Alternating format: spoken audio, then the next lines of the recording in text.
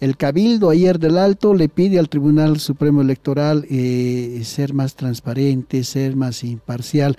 Yo le preguntaba hace un ratito a la representante de las Bartolinas si había algún tipo de susceptibilidad con relación al trabajo del eh, Tribunal Electoral y él nos explicaba de que sí, de que hay algunas cosas que de repente o, incomodan o llaman la atención a, algunas fuerzas políticas. Eh, ¿Qué me dice sobre esto, vocal, por favor?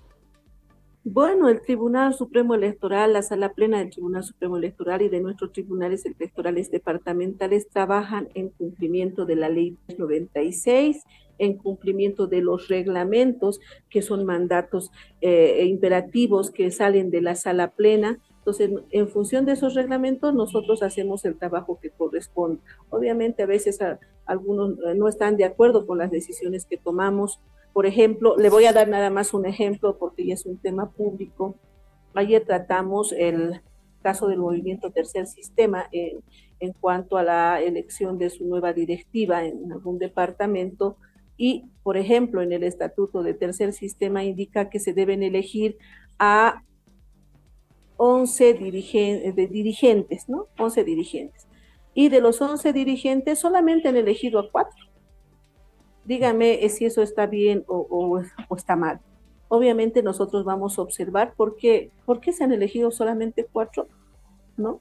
¿Por qué no se ha elegido a la plancha de los 11 dirigentes que, debe, que debieron elegirse en una asamblea nacional? Creo que es la forma en la que se, en la que se organiza. Entonces sí vamos a hacer esas observaciones porque consideramos que los militantes también deben participar en sus organizaciones políticas. Y ese es uno de los casos que, evidentemente ayer, ayer se observó en la sala plena y, lo hago público porque al final eh, son las decisiones que tomamos y cuando las tomamos pues ya son públicas. Y eh, bueno, a ver, en otros casos, por ejemplo... El caso de la UCS, si nos puede explicar, eh, vocal en el caso de Unidad Cívica Solidaridad, tenemos entendido y tenemos entendido a través de los medios de comunicación que Unidad Cívica Solidaridad llevó adelante, no sé si es un encuentro o un Congreso Nacional donde eligieron sus dirigencias, por ejemplo, pero lamentablemente eh, el órgano electoral no ha hecho la supervisión y acompañamiento.